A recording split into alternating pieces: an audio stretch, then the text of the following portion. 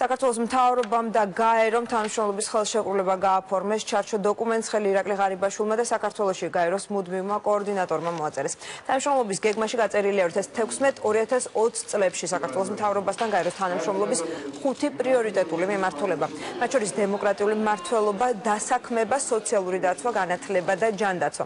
დოკუმენტის ხელმოწერას საქართველოს აღმასრულებელი და საკანონმდებლო ხელისუფლების წარმომადგენლები ესწრებოდნენ. დოკუმენტის გაფორმება გაერთიანებული ერების ორგანიზაციის 60 მეათე წლის თავისადმი მიძღვნილი ღონისძიების ფარგლებში მოხდა.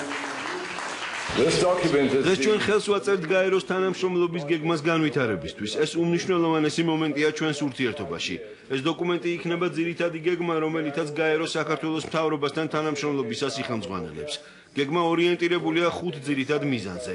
გაერო კვლავ აგრძელებს თანადგომას საქართველოს მთავრობის მიმართ, იმისთვის რომ ამაღლდეს კანონის უზენაესობა, დაცული იქნეს ადამიანის უფლებები, დემოკრატიული ღირებულებები, ხელი შეეწყოს მდგრად ეკონომიკის განვითარებასა და გაძლიერდეს სოციალური სამართალი. საქართველოსთვის მნიშვნელოვანი გამოცდილებაა გაეროს ნაწილად ყოფნა და ჩვენ ყოველთვის გავითვალისწინებთ თქვენს რეკომენდაციებს.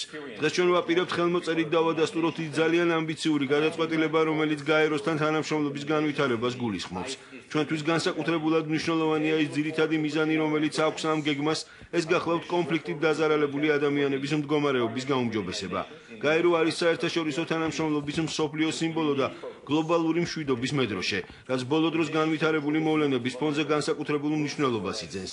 გასულ კვირას პარიზში, ბეირუთსა და ეგვიპტეში განხორციელებულმა ტერორისტულმა აქტებმა და ბარბაროსულმა ძალადობამ, რომელიც სამწუხაროდ ასე გახშირდა, მთელი მსოფლიო შეძრა. საქართველოს მთავრობა დიდ მნიშვნელობას ანიჭებს გაეროს ჯგუფის თანამშრომლობას ჟენევის მოლაპარაკებების ფარგლებში და მადლობას უხდის გაეროს იმ როლისთვის, რომელსაც ის საქართველოს ოკუპირებული ტერიტორიებიდან იძულებით გადაადგილებულ პირთა და ლტოლვილთა მდგომარეობის გაუმჯობესების საქმეში ასრულებს.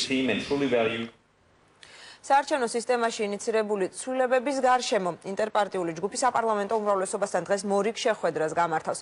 მაჟორიტარული არჩევნების გაუქმების